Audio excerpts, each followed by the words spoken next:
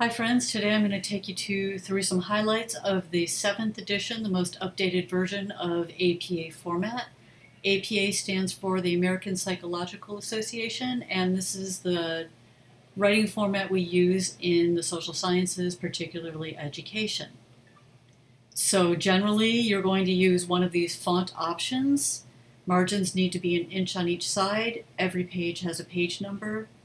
You'll indent do not use full justification, so you'll indent on the left and then the right will be varied. And do not break words at the end of a line. So here's what a sample title page looks like. You will have a header in all capitals. You no longer need the words running head for those of you familiar with the 6th edition. Also, the title page has a page number. It didn't used to. The title of your paper goes in bold in normal capitalizations and your name and affiliation. Next page, this running header will be in the header throughout on every page of your paper. You'll have an abstract, also bolded, with everything flush left, and then keywords, the words in italics, and the keywords separated by commas. So the actual paper begins on page three. You will have the title, this should be centered and bolded.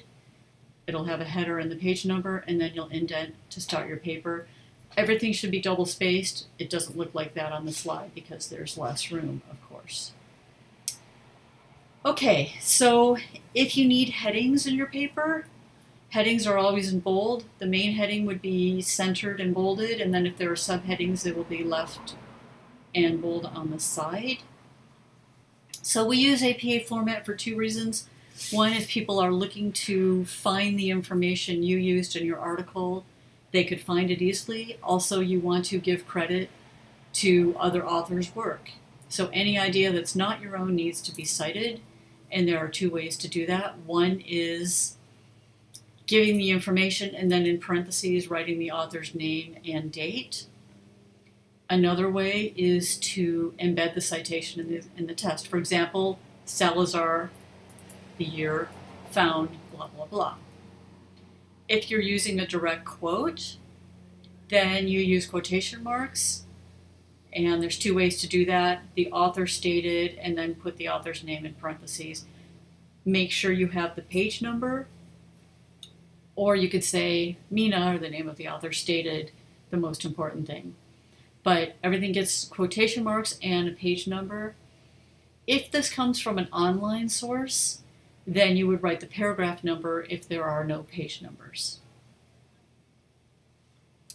Alrighty, if you're quoting a longer quote that's more than 40 words, then you would set it off in an indented block like the one shown on this slide, and you would not use quotation marks. So for example, it would look like this. The body of the text says, a middle school principal said, and here's the direct quote.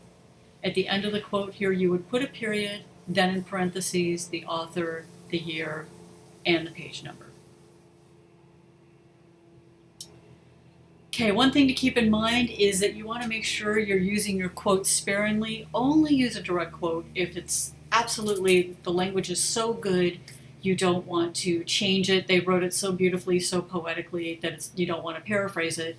But it really will inter interrupt the flow of your writing if you have so many exact direct quotes. So if it's a paper, like a four or five page paper, probably one or two direct quotes or one block quote would be as much as you'd want. For other citation information, if there are two authors and you're citing them um, in parenthetically, you would just put the an ampersand in between the author's name and the date, or Beltran and Depp date stated, to cite a source with three or more authors, you would write the first author and then et al. and then the year. And again, if that's a direct quote, you would put the page number there. Okay, so if you have multiple authors, you would put the author's names as you see here. If one of them has more than three authors, then you would write Smith et al. 2019. So if the one author has the same year, then you would distinguish it by an A or a B, and then in your reference section, you would put them 219A would come first and then 219B. If you're citing from an organization, then the first time you list the organization, you would spell it out fully, and then in brackets, write the abbreviation if it's an organization that's commonly abbreviated. Okay, so if you were going to be citing from different kinds of media, the APA 7th edition does a great job showing how to cite from these different kinds of sources. As you can see, I cited them, so you can look that information up. And I've given you some specific examples here about how to cite, taken, this is just right out of the book, so feel free to, to reference that. Notice if you're citing a TED Talks, one way they, they explain how to cite it if you're getting it directly from the TED website, and another way would be if you're getting it from YouTube. So if you are citing from YouTube or other streaming videos, here's a demonstration of how to cite those informations. Notice that we're going to start seeing some patterns here. You'd have the name of the creators, the dates, and then in brackets you would put what type of media it is. So here I give you some different examples of different ways to cite different kinds of media. So lithograph, infographic, infographic, a map, photographs. So these are all different ways to cite different types of media. So if you're doing an interview, you would just say personal communication and the date, and this would not show up in the reference list because it's not retrievable. But if you were going to cite something like a PowerPoint from a class, you would put the author and the year and put this in the reference list because it is retrievable. If it's no author or anonymous, you might just say, say anonymous if it's anonymous, or for the author, put the title of the source first. For additional citation information, you can refer to the textbook. Okay, now talking about the reference list, this is alphabetically organized and the word references is bold and centered, which I think is how it was in the sixth edition as well.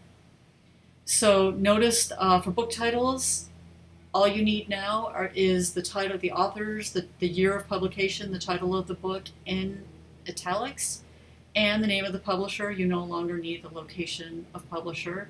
You can include a DOI if it's available, not required.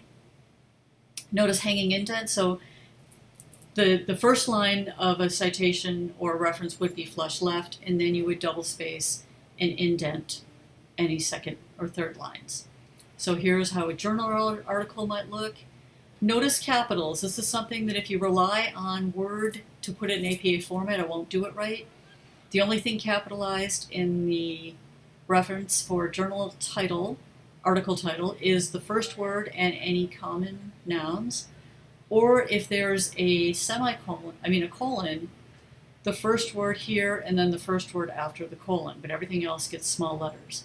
However, the title of the journals in italics gets italicized with normal capitals and the volume number is also italicized, but the issue number is not.